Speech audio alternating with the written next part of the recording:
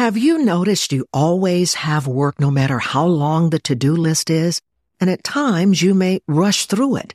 But how often do you stop to think about the toll that daily tasks are taking on your body?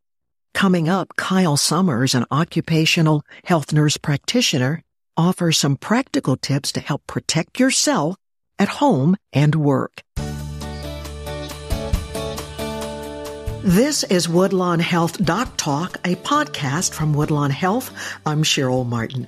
Kyle, great to have you on to discuss this topic. Thank you, Cheryl. I'm happy to be here. So let's begin first with the term I'm not familiar with body mechanics. What does it mean? Body mechanics refers to the way that we move during the course of our activity, and it can apply to any movement we make sit, stand, carry, push, pull, anything. So, how is body mechanics different from regular exercise? Body mechanics apply when you're exercising just as much as they do when you're moving about your regular day and doing your chores. It's not about what you're doing, it's about the fact that you're moving. And because we are moving, what is it we need to be aware of as a result of moving to understand the toll that body movement takes on our bodies? We can kind of break that down by going back to the ABCs of body mechanics. We have to think about how our body is aligned, what our base of support is, and where our center of gravity is when we're moving, it's important that we know what we're supporting our body, making sure that we're focusing on large muscles, keeping things close to our body because you're more likely to get injured if you're carrying something away from your body and putting strain on multiple points of your body than if you are carrying it close to your body. So we have to think about how we're aligned, what is supporting the action that we're doing and where that center of gravity is falling. Is it within our body or is it, you know, offset from us? So can anyone use proper body mechanics? Yes, anyone can and everyone should. And is it the same as ergonomics? Well, ergonomics actually stems from the Greek word ergon, meaning work, and nomos, meaning natural law. That's the study of people's efficiency when they're working.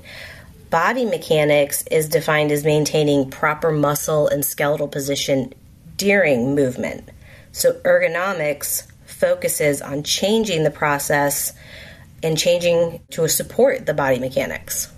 So, in order to make sure you are taking advantage of body mechanics, do you have to work with a doctor or a therapist to learn proper body mechanics? Absolutely not.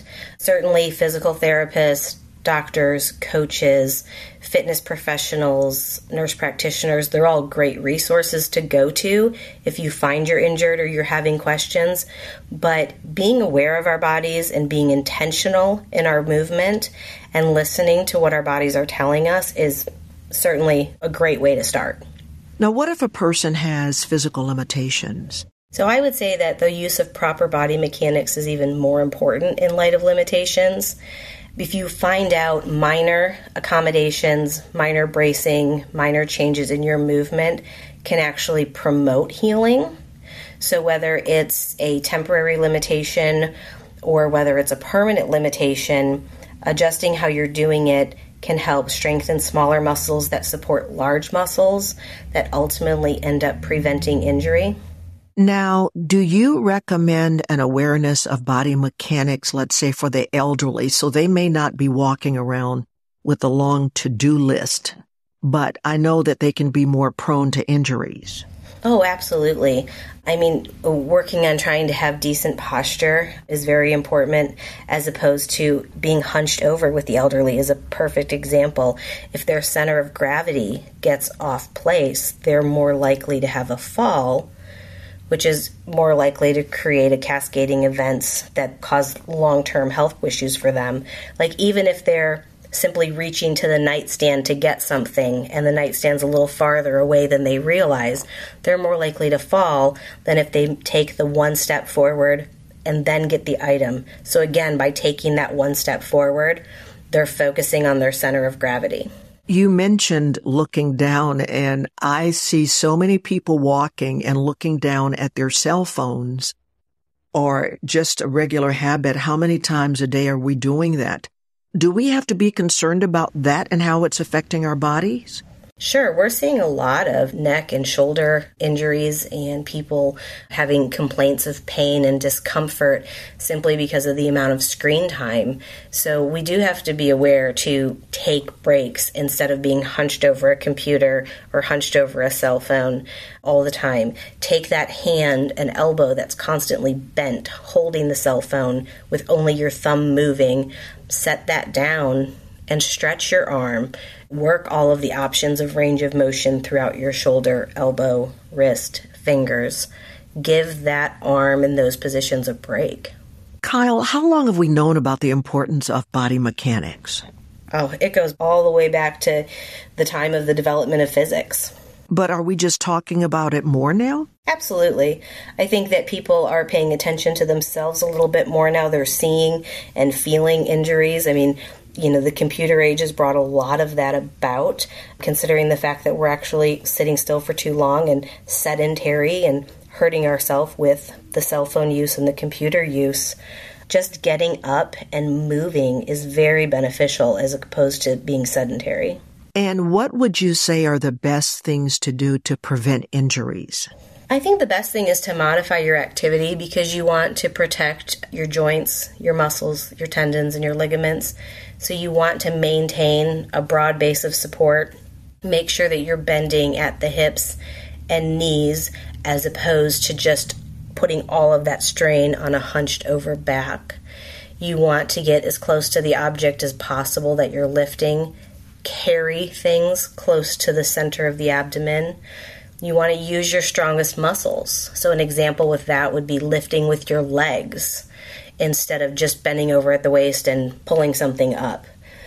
You want to put your whole body weight behind you to help you push and pull as opposed to just grabbing something and putting all of that effort into your arm. You want to avoid twisting and you want to avoid any repetitive action for any length of time. It's important to rest after strenuous work, take breaks, stretch before and after activities, or first thing in the morning and at the end of the evening. I'm glad you mentioned muscles because what's the difference between muscles, tendons, and ligaments? So, muscles are fibrous tissue and they contract, allowing us to move. Tendons are a band of tissue connecting the muscles to our bones. Ligaments are an elastic band of tissue that connects bone to bone. It offers some stability to the joint. So if we have a tear in a ligament, that affects that joint's ability to function. And then we also have cartilage, which is soft gel like padding. It can be found between the body's joints, kind of to protect, and it kind of works as a gel that helps glide and aid in movement. So, what I hear you saying, it seems like a lot of this in terms of making sure that our daily regimen doesn't take a toll on our bodies is to be really intentional. Absolutely. I think that's the best way to put it. Anything else you'd like to add, Kyle, on this topic? Just that small changes add up for greater benefits in the long run. I like that, and I think we can all do some small changes. Kyle Summers, thank you for sharing your expertise and passion, some great tips for keeping our lives running more smoothly. Thank you for having me. For more information, go to woodlawnhospital.org and search for occupational health. And if you found this podcast helpful, please share it on your social channels.